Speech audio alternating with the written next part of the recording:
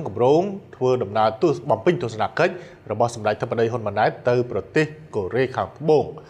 សម្ដេចធិបតីហ៊ុនម៉ាណែតនាយករដ្ឋមន្ត្រីនៃកម្ពុជានឹងទៅបំពេញទស្សនកិច្ចផ្លូវការនៅប្រទេសកូរ៉េខាងត្បូងនៅអំឡុងខែឧសភានេះតបតាមការអញ្ជើញរបស់លោកយុនសុកយុលប្រធានាធិបតីកូរ៉េខាងត្បូង នៅក្នុងអំឡុងបំពេញទស្សនកិច្ចនៅកូរ៉េខាងត្បូងប្រមុខរាជរដ្ឋាភិបាលកម្ពុជានឹងចូលរួមធ្វើជាអធិបតីភាពនៃវេទិកាធុរកិច្ចនិងការចុះអនុសារណៈយោគយល់គ្នាមួយចំនួនរវាងកម្ពុជានិងកូរ៉េព្រមទាំងធ្វើទស្សនកិច្ចទៅកាន់ក្រុមហ៊ុន Samsung ផងដែរតើអ្នកជំនាញមានការយល់ឃើញបែបណាចំពោះដំណើរទស្សនកិច្ចរបស់សម្ដេចហ៊ុនម៉ាណែតទៅកាន់ប្រទេសទៅកាន់ប្រទេសកូរ៉េខាងត្បូងនាពេលខាងមុខតទៅនេះក្រុមការងារ Cambodia លំអិតរឿងនេះដូចតទៅ បើគ្មានការប្រែប្រួលណាមួយទេសម្ដេចធិបតីហ៊ុនម៉ាណែតនាយករដ្ឋមន្ត្រីនៃកម្ពុជា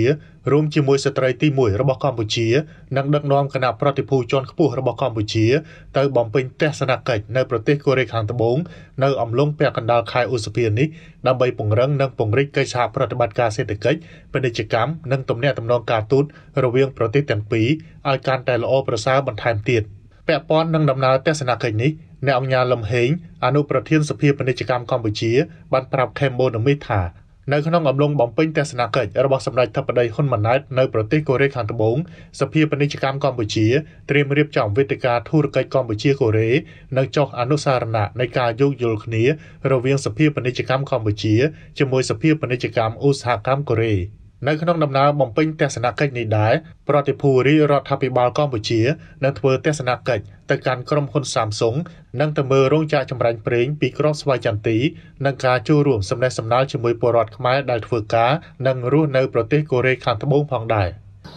ដំណើរគណៈប្រតិភូសភាពាណិជ្ជកម្មកម្ពុជាដែលអម ដំណើរដោយអ្នកអង្គការកិត្តមានប្រធានសភាពាណិជ្ជកម្មកម្ពុជាអមដំណើរសម្ដេចតប្រៃហ៊ុនម៉ាណែតទៅ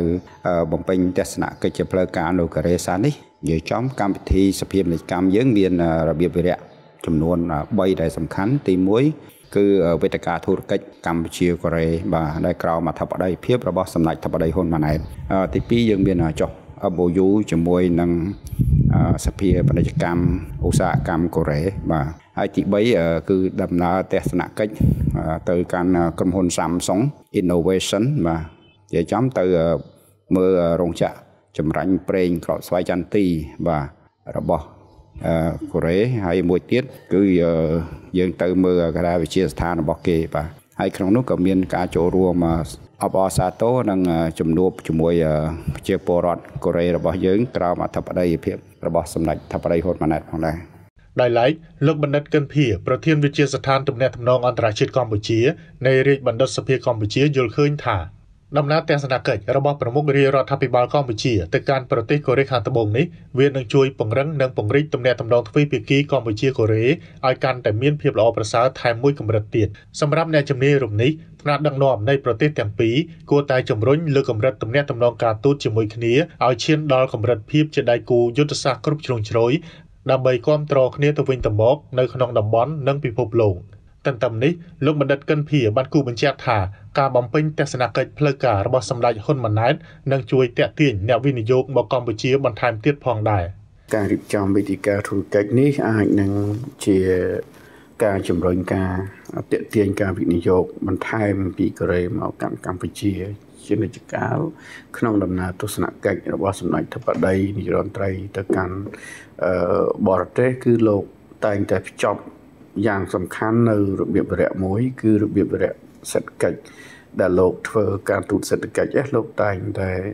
តេទៀងការវិនិយោគពីបរទេសមកកាន់កម្ពុជាជំរុញពាណិជ្ជកម្មទ្វេភាគី តេទៀង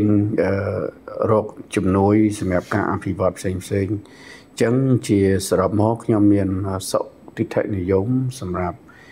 ដំណើរទស្សនកិច្ចនេះអាចនឹងនាំមកនៅផ្លែផ្កាសម្រាប់ប្រទេសកម្ពុជានិយាយទៅឡែកនិងសម្រាប់ប្រទេសទាំងពីរនិយាយជារួមទាំងទស្សនវិជ្ជានយោបាយយុទ្ធសាស្ត្រ សេដ្ឋកិច្ចពាណិជ្ជកម្មវិនិយោគទេសចរនិងជំនួយអភិវឌ្ឍផ្សេងផ្សេង បើយោងតាមរបាយការណ៍របស់គណៈនាយកដ្ឋានកយនិងរដ្ឋកោកម្ពុជា នៅ3ខែដំបូងឆ្នាំ